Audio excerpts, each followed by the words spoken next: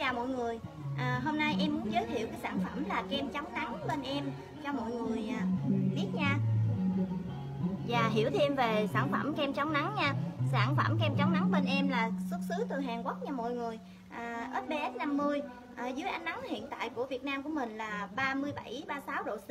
À, nếu mà da của mình ban ngày nếu mà đi ra ngoài á không không không được bảo vệ với một lớp kem chống nắng á, thì da của mình rất là hư hại luôn.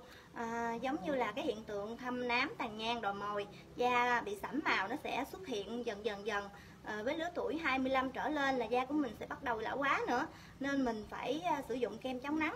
À, để bảo vệ cái làn da của bên mình. À, một cái tép kem chống nắng như thế này là mình sử dụng được cho một năm luôn nha mọi người. Một năm luôn 7 8 tháng đến một năm. Tùy tùy à, tùy à, chị em sử dụng nha.